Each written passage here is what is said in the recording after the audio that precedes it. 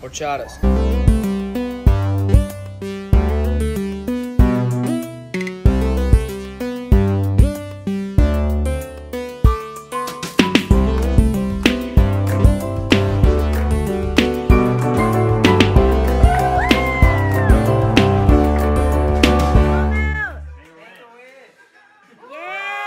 What's up, guys? My name is Dean Hebscher. Welcome to the Clean Hamster Podcast. This is episode 126.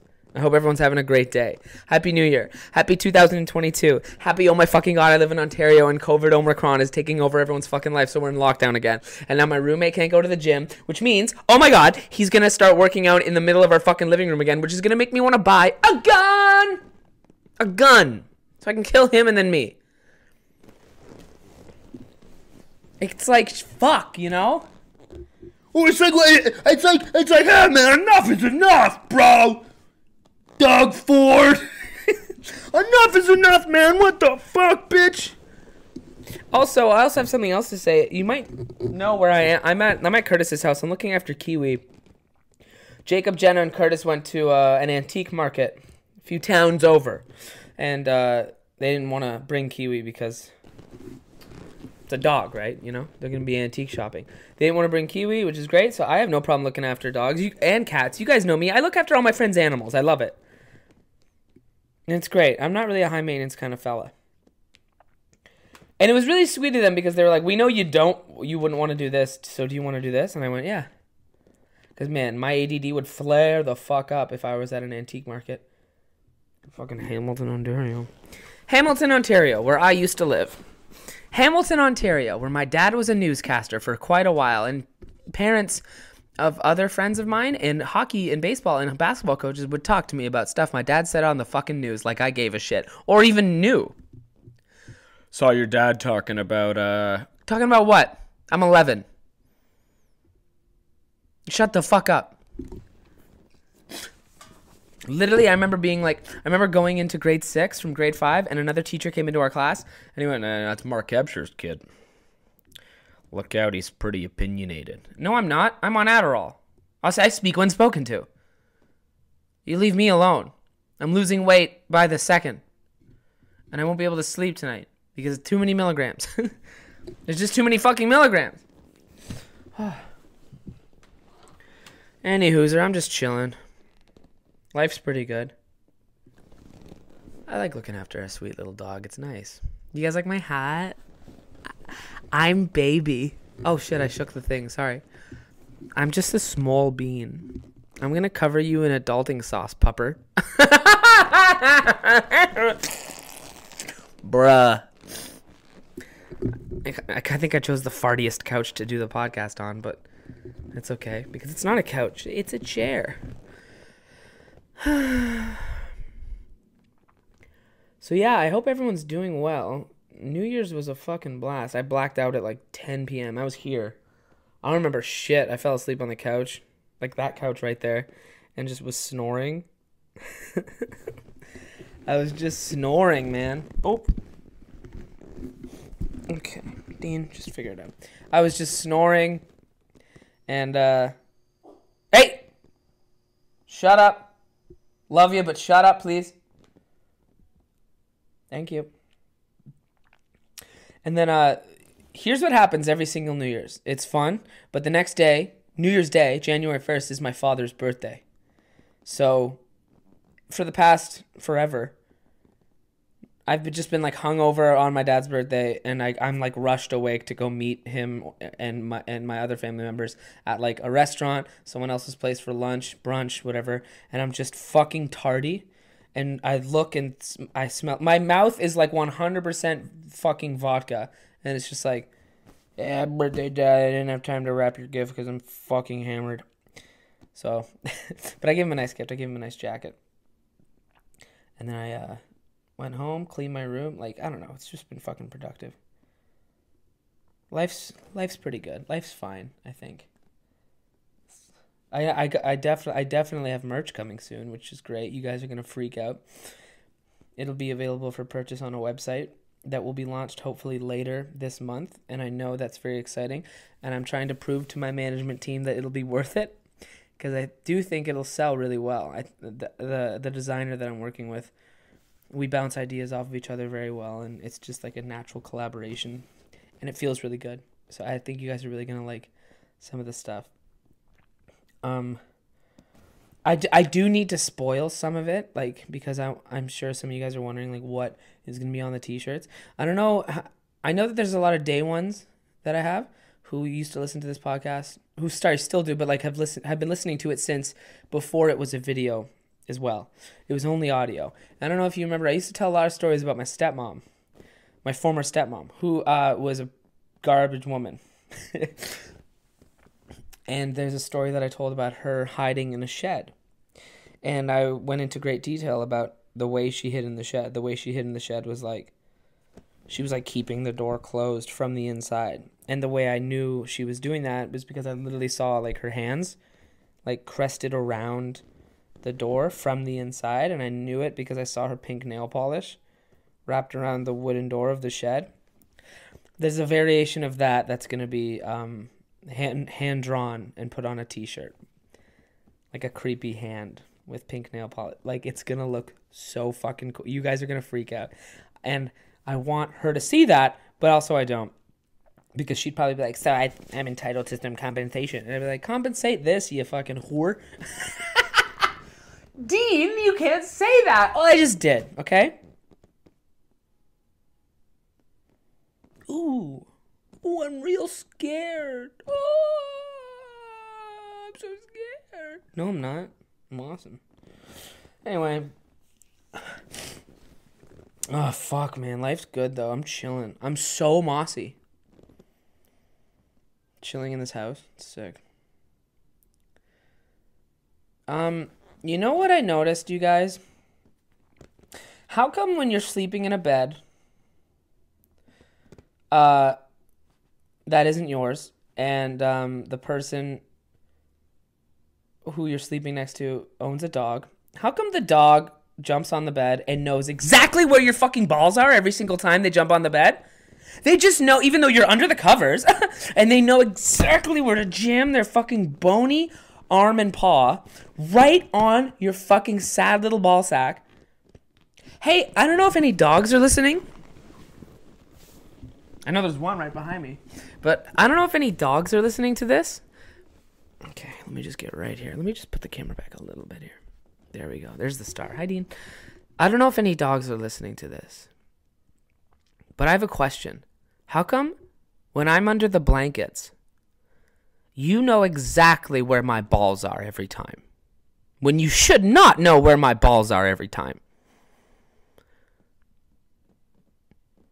And then one of your longest, thickest hairs ends up right there. Right there. Right there in my eye. Right there in my eye. And I guess it's been there since like, I don't know, 4 a.m. So then I wake up and I look in the mirror and my eye has been cherry red the whole time. and itchy. And you know where my balls are and you step on them as hard as you can, I guess, because you're excited because it's the morning and your masters are awake. Stop stepping on my balls and knowing where they are also, please. I'm under the covers. How do you know? How do you know where my fucking balls are when I'm under the covers? Every fucking dog knows exactly where my balls are when I'm under the blankets of, of their owner's bed. Stop knowing where my balls exactly are, please. That is for me to know and your master to find out and for you to never know and find out. But you know, but you know, you find them and you go, "Mm," right there. And I go, ow! ah, like it fucking hurts. And then I'm like, God, my eyes itchy. And then I just p- fucking get. I'm like, oh, that big hair with probably microscopic little fucking bugs on it was in my eyeball all night because you're allowed on the bed.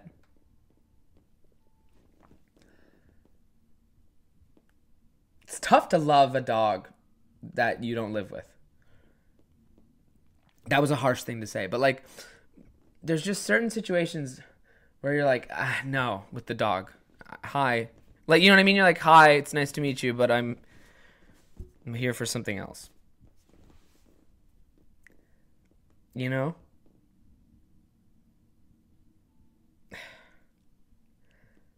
That'll be, I'll work on that. That'll be something else one day.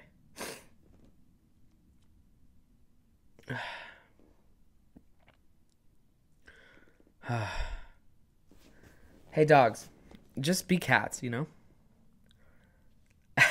I'm just kidding. Dogs are cool. Everyone fucking shut up.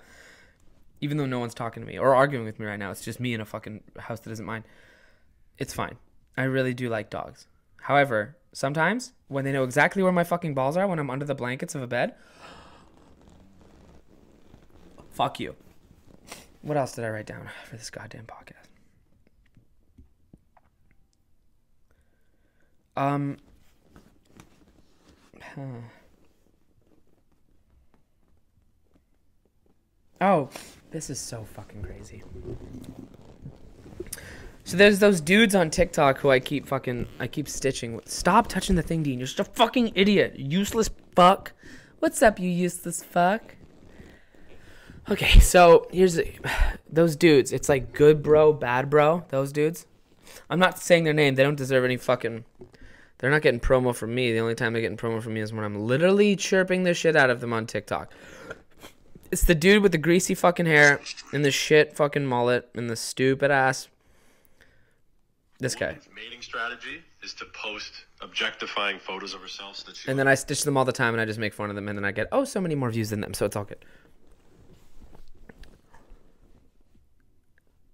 I don't get it. I don't get what he's doing and he and, and I've been talking about this the idea of just dudes who have podcasts for so long now and I know I'm a dude who has a podcast but I'm funny like I fuck come on I tell you guys funny stories I'm not just being like so uh, I've been noticing on Tinder lately uh there's a lack of rockets and you're like Jesus Christ and then like it sucks because like I know some of the dudes that he has on the podcast. Like I went to school with some of them, and like I know they're better than that.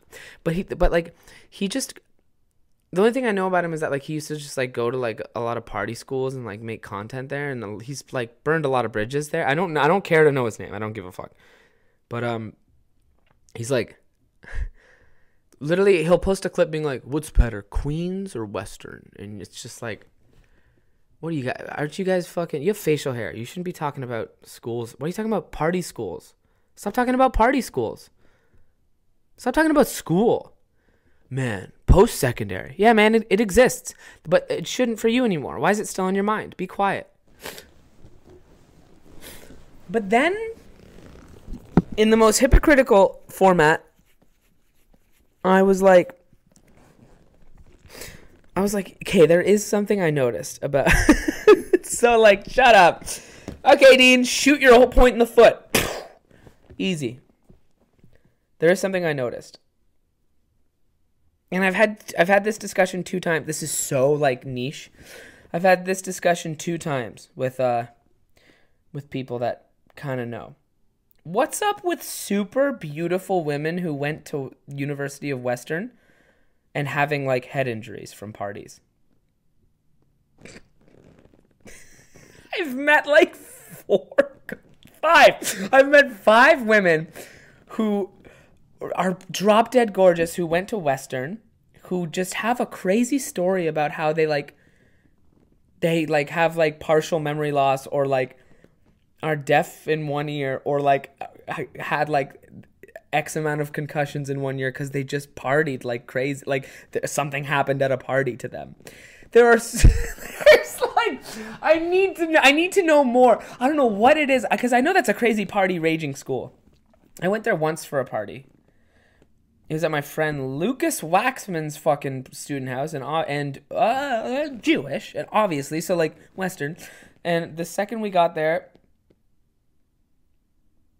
I slipped on a patch of ice and all of my loose Keystone loggers went everywhere and a bunch of girls were like, oh, yeah, okay, and like didn't help me up and I was like, fuck London.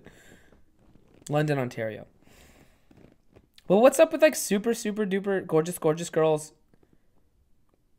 having gone to Western and being like, yeah, like I can't really hear out of this ear. like, and I fell at a party and like if I get one more concussion I could fucking die. And you're like, well, what the fuck? you guys are nuts. I know. There's so many people being like, what the fuck is Dean talking about right now? But like it's true. So many super beautiful women who went to Western just have fucking conkies and like crazy head trauma from their wild partying days when they were like 20. I don't know what it is. There's like, yeah, I fell off a balcony when I was 19, and you're like, what? really? And you're like, yeah, Flip Cup gets crazy. And you're like, Jesus Christ. yeah, man. I don't know. I don't know. Like, I'm not really going anywhere with that, but like, it's just something I've I've observed. Yeah, I remember that. I remember driving to uh to west to to London, Ontario, in in a truck with my friend Mitch and my friend Evan, and it was winter, and it was like in the middle of a snowstorm, and like you'll do anything to go to a party when you're like 19 or 20, and I went to Humber, so I was like, I, there's nothing going on here, and I kind of want to see my friends from high school anyway, so. I was in the passenger seat. No, I was in the middle seat of the truck, like I always fucking am. And my friend was like, "Mate, this is fucked."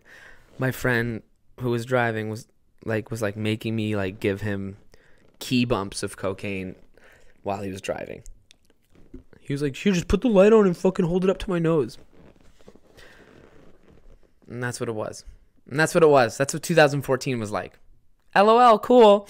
And then I think I woke up with like mu- the mumps. I don't know. I just was like gross and swollen after that disgusting party. Because it was one of those parties where it was like, hey, where sh- hey, where can we sleep? And it was like, it's a free for all, guys. We don't know anything. And we are like, cool, that's great. I'll ball up my jeans and use it as a as a pillow. I don't know. Hey, this is too loud of a fucking couch. Really Okay, also the comments on TikToks, Jesus Christ, shut the fuck up. Uh, Like I get it, but like oh my god, it's so annoying. Dean, what is this? What? What the fuck do you think it's TikTok? It's, it's anything you really want it to be. Keep scrolling. Bestie, are you okay? Blink twice. Shut the fuck up. Shut the fuck up. Love you, but shut the fuck up. There are so many great TikToks that I wanted to talk to you guys about. That I wanted to TikTok to you guys TikTok to you guys about. Can I get that margarita on the rock, rock, rock. Can I get salt all around that bum, bum, bum, bum tray? I was like, yo, Trey, do you think you can buy me a bottle of rosé? Okay, let's get it now. I'm with a bad bitch. He with his friends. I'm gonna say hi. I say keys to the Benz. Keys to the Benz. Keys to the Benz. If a bitch, if a bitch trying to get cute, I'm a snuffer. Okay. Uh, hang on. I need to open the notes app because I wrote down six or seven more things that I want to chit chat with you guys about. Hey, hey, hey.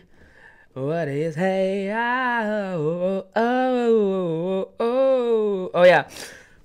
You guys remember that era of uh of teenage of teenagehood of adolescence when uh every girl and guy was like no, it wasn't guys.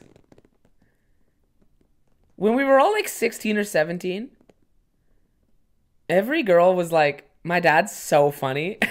and it and he wasn't. He was just like the quirky, funny dad. Fun. He was a dad. He was just being a dad. And we were all ironically like, "Your dad's hilarious." I don't know. Like some people are still like that. Sometimes I'm like that. I'm like, "Oh, my dad's fucking hilarious." He's not. He just is ironically. He just ironically he is. What we're doing is making fun of him. That's what it was for so many years. Like so many of my friends from Dundas were just like, "My dad's hilarious." It's like not really. He's just like pretty distant and like high on weed. He's just like a quirky fucking in and out of the house dad. And I think his feelings are hurt when when we all leave the room because he's like kind of catching on that we're making fun of him. They're like, "Oh my god, that's so Rick." I think he's sad. Like, stop, can I, all these teenage girls stop think, stop saying that their dad's so funny? I think he's just like weird and sad, and I think he's smart enough to catch on that you're being ironic about all this. You guys gotta come over and hear my dad talk. It's crazy. Like, shit. Uh, shut up. What? What? Let's all ironically like my dad because he's from a different time. I don't know. I feel like so many dads, once they get alone, they're just like, I think my daughter and her friends were making fun of me. Can't be too sure though. Guess I'll go to the garage and drink nine Molson Dries. Smoke a huge J. Pork my hefty wife. Pork my hefty fucking wife. Pet the dog for 60 minutes. Watch 60 minutes. Maybe heat up some fucking chili. Then go to bed. I got a long day of being quirky tomorrow. I got a long day of being really, really quirky tomorrow for my daughter's weird, fucking annoying friends who eat everything in sight and don't clean the, f- and don't f- close the fridge properly. And my son, don't even get him started. I'm just making. Uh, this is me. I'm gonna do every, every in. This is every inner monologue of some small town, probably Dundas, Ontario, where I'm from, parents. And I love knowing that there's some people listening to this right now who can't wait to hear what I'm gonna say, and there's also some people listening who are like, "Can he? What is this problem Dundas? It's fucking not that fun. It's pretty, sure. It's a nice place to go look at some waterfalls, but I wouldn't raise my kid there." Huh. Every dad. Oh my god, my daughter and all her fucking friends keep making fun of me a little bit to my face, and they don't think I know it, but I totally know it, and it's hurtful. Now, my son isn't as athletic as I want him to be. I'm going to push him harder tomorrow to see if he's going to be athletic. I swear to God, if he ends up being an artist, I'm going to be really angry because I know deep down I've always wanted to be an artist. But my dad screamed hockey into my face. How come he can't run track and field like his sister? oh my god. God, boy, I sure am glad that I met my wife in sixth grade. Middle school sweethearts. Uh, small towns are so fucking lame. Now we'll go down to the Lions Club tonight and support. I don't know. Fucking who gives a shit? Go down to the Legion, get a beer, play darts. the fucking Legion. Oh, you're fucking funny guy, eh? Fuck. Holy shit, there, bud. Fuck, you're funny, huh? Oh, so you want to be a fucking comedian, eh? Fuck, I got one for you. So a fucking Jew walks into a bar. I'm gonna stop you right there. That's how it goes every time literally like also I couldn't shut up about wanting to be a comedian when I was 16 or 17. And also like you're just so opinionated at that age about nonsense really. So I would just go around like you know, if friends of mine if their parents would ask me like what are you going to do? Like what are you to do after high school? I'd be like I'm going to try I'm going to go to uh, I'm to try to be a comedian or an entertainer or an actor or something like that. I'd be like, "Oh, fucking holy shit, Diener's going to Hollywood." Holy hell, fuck, man. Well, fuck. Before you get to fucking clown school, I got a couple jokes for you. Come here. So, two black guys walk into a. F- oh, stop right there, please. Holy shit, stop right there. What kind of jokes you gonna tell? Well, how the fuck am I supposed to answer that question? So, what kind of fucking jokes you gonna tell, eh? Holy fuck, bud. You know, I actually never found you that funny. Are you sure that's gonna work out? Just go. I'm just joking. You can use that. Wow. That's awesome. I'm so. Hey, Kiwi, you okay? Holy fuck, bud. Hooting and hollering over there. Fucking barking your cahoons off. Holy shit. Oh, Diener's gonna be a fucking funny man. Who the fuck you think you are? Steve Martin? Fuck. Holy shit, Diener's gonna go up there and make a couple ha-has. I got two for you right here. Fuck you. Holy fuck, bud. Did you hear Dean's fucking going on fucking tour? Fuck, man. When's the Netflix special coming out there, muchacho? Fuck. Holy fuck, man. You're actually not that bad. Pretty fucking funny stuff I saw up there. I got a couple good ones for you, though. Lean in. No. Shut the door, bud. I got a couple fucking racist ones for you. no chance, dude. No fucking way, man. Holy fuck. I'm actually so I'm actually so fucking happy I graduated high school. You guys know how happy I am I graduated high school. I didn't think I was gonna do it. I didn't think I could do it. But I did it. Thanks a lot, applied classes. Thanks a lot, Miss Haygarth. Who else was there? Mr. Toth. Thanks, buddy. Toth. Sick guy. Guy was hilarious. One time someone asked him a question. This girl, I think her name was Julia. I think she asked him a question and then she and it was like a really long-winded question. You know, one of those questions in a high school class where it's like, um, Mr.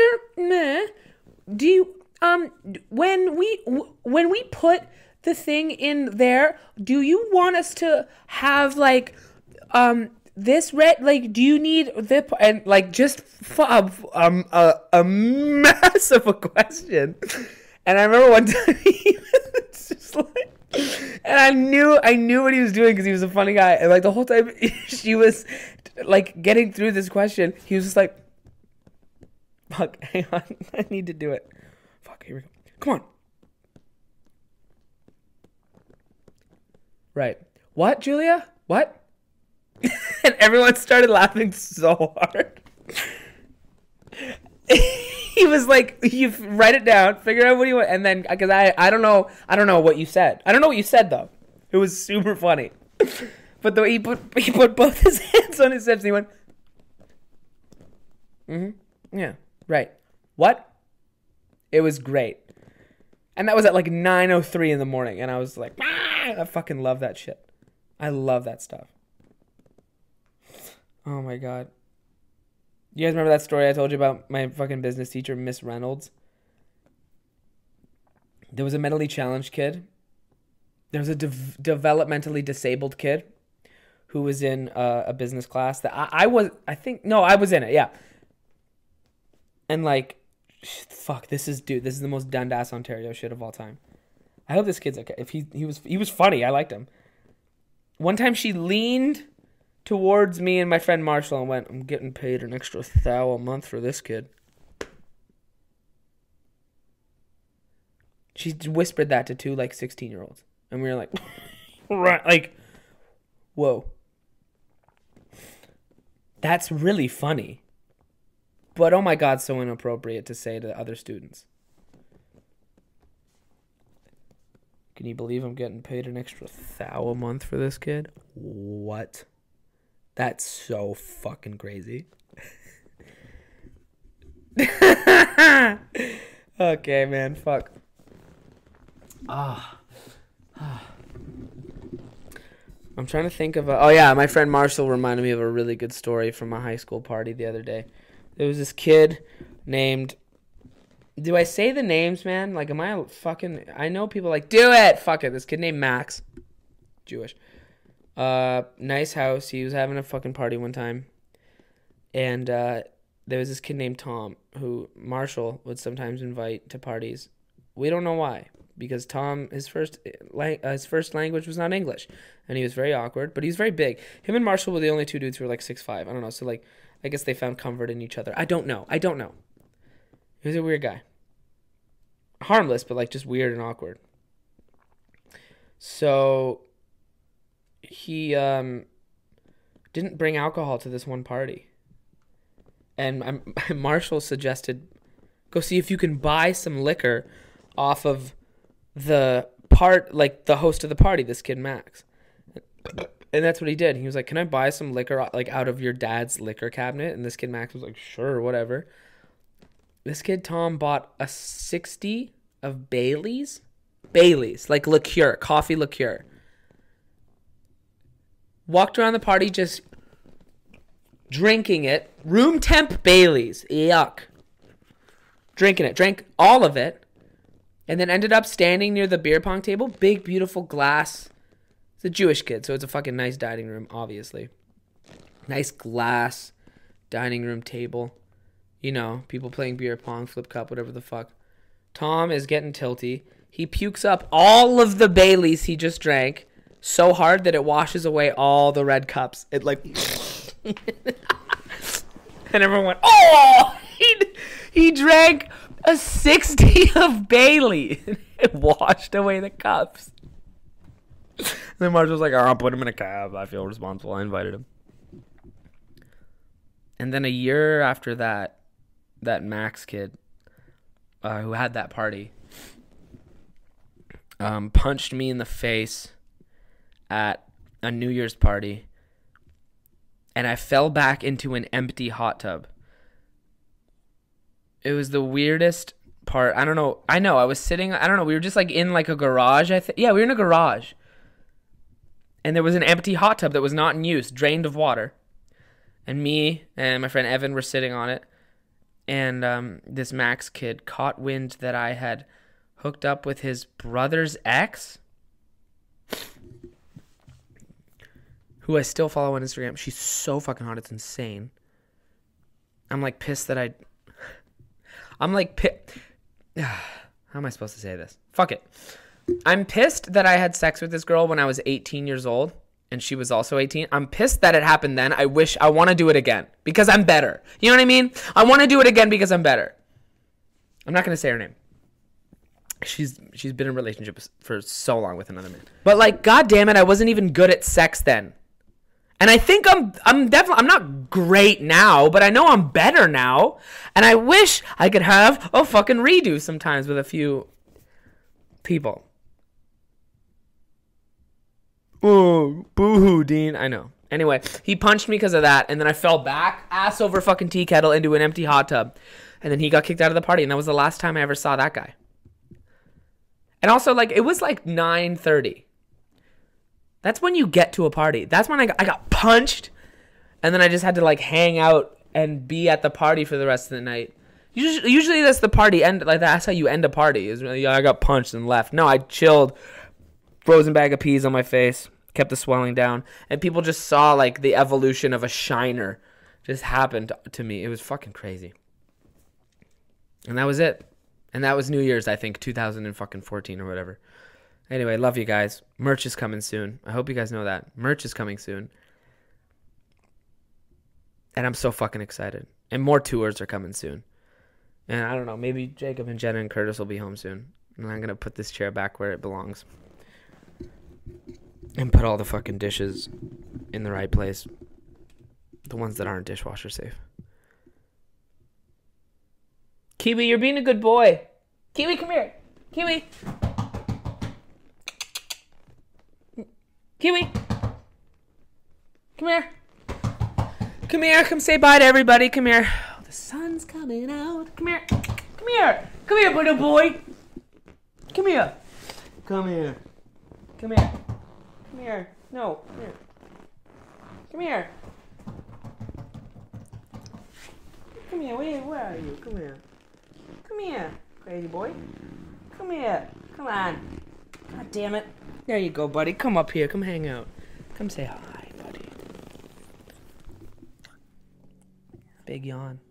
Bye. I hope you guys have a wonderful 2022. Good boy. Bye.